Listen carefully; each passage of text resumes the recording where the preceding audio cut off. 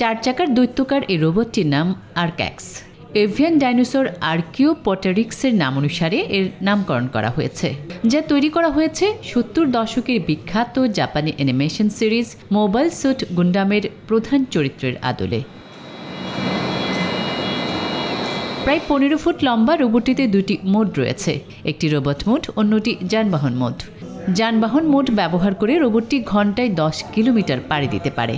এই রোবটটিতে cocopeat monitor রয়েছে যা বাইরের দিকে লাগানো ক্যামেরা থেকে ছবি তুলতে পারে।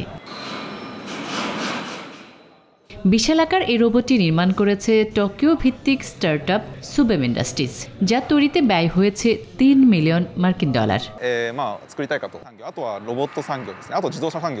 চলতি মাসের শেষে জাপান মোবিলিটি শোতে রোবটটির উদ্বোধন করা হবে। জানা গেছে, প্রতিটি রোবট প্রায় চল্লিশ কোটি ইয়েনে বিক্রির পরিকল্পনা করেছে কোম্পানিটি। আসমাতুলি নিউজ টোয়েন্টি